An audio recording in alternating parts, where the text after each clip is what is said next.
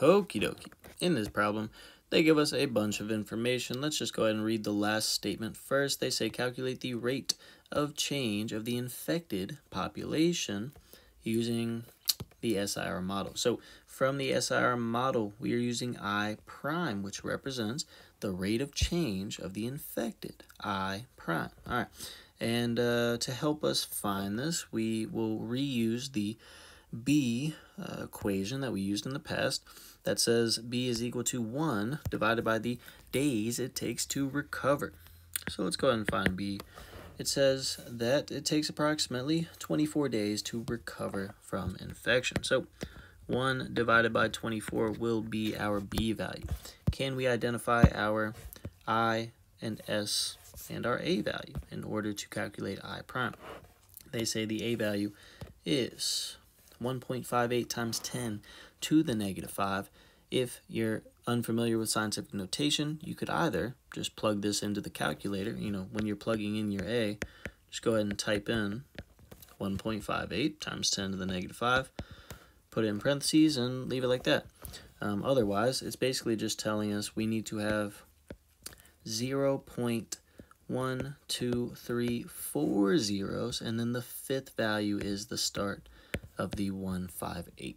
All right, uh, so our 8 is equal to this, if you prefer the decimal, or this, if you prefer the scientific notation. And then the I and the S come directly from this sentence here. They say there are 1947 infected. So our I is 1,947 while our S is, well, they say 12,000 have been recovered. It's not what we're looking for. We're not looking for R. They say 142 are still susceptible. So S is susceptible and S is equal to 142. Once we have B, A, I, and S, we just plug everything in to I prime. So we have A, which I'm just going to copy if I can. Throw that baby there.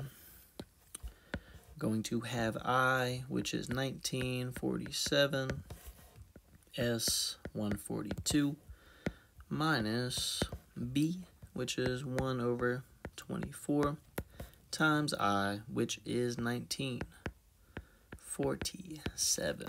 All right, let's see if we can do our little split screen method, and we're going to open Desmos alongside and we're plugging in this formula here. So we have 0.000158 times 1947 times 142 minus 1 over 24 and that is being multiplied also by 1947. So we get approximately negative 76.76. That's easy enough. Negative 76.76 is equal to I prime, so it should be equal to the number of people that are uh, infected.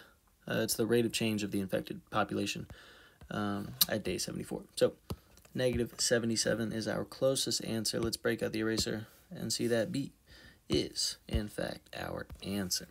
So kind of dragged on a little bit, but feel free to check out the second example to kind of get a more succinct uh, walkthrough. All right.